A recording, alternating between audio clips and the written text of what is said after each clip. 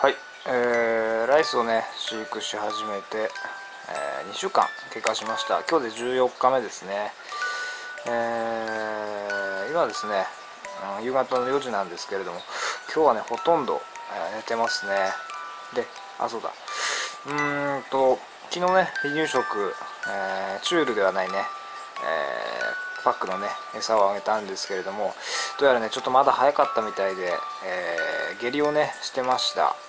なので、えー、まだねしばらくはチュールと、えー、粉ミルクをね混ぜて与えたいと思います、はい、でまあ下痢をしたせいかですね、まあ、体力が奪われてしまったのか、えー、今日はね一日寝てますね。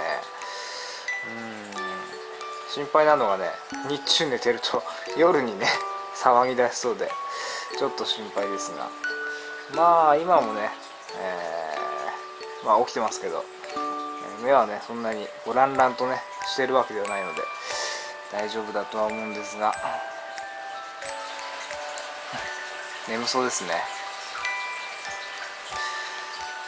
ちょっとねなんかまた目やにが、えー、さっき拭いたんですけどね、えー、目やにがねまた出始めてるように見えたのでちょっとそこが心配ですね。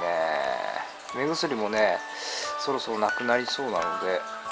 うーんまあ様子を見てねまた動物病院の方にね行ってみようかなと思っております。